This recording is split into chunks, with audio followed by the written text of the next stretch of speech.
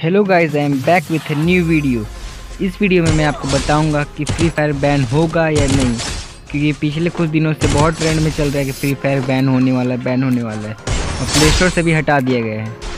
तो आज के अपडेटेड न्यूज़ के साथ मैं बताना चाह रहा हूँ बहुत दुख के साथ कि फ्री फायर बैन हो चुका है।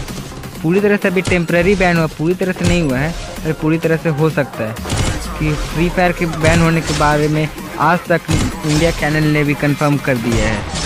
तो इस वीडियो में आपको, मैं आपको पहले आज तक का क्लिप दिखा देता हूँ कि गवर्नमेंट ने ऑफिशियली फ्री फायर को बैन कर चुका है।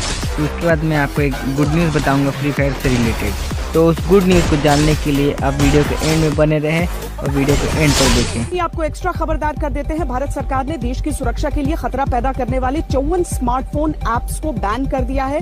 बैन किए गए एप्स में मशहूर गेम गैरिना फ्री फायर भी शामिल है। इसमें ज़्यादातर एप्स चाइनीज़ है। हालाँकि ये गेम इसका डेवलपर चीन से नहीं सिंगापुर से है। पबजी पर बैन लगने के बाद ये ऐप भारत की सबसे ज़्यादा डाउनलोड की जाने वाली एप्स में से एक थी। सरकार ने जिन एप्स को बैन किया है उनमें ब्यूटी कैमरा सेल्फी रात 12 बजे से संपूर्ण देश में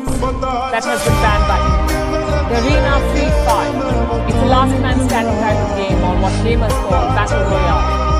Arena Fire. It's emerging from प्रशासन मंत्रालय का ये फैसला है अब से कुछ मिनट पहले बड़ी खबर सरकार से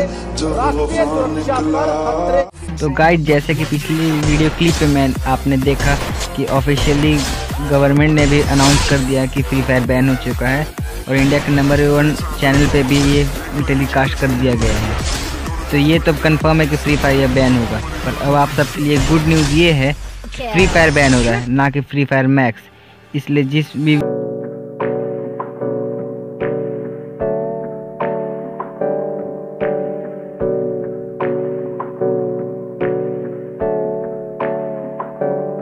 Hey, I got something, something to say.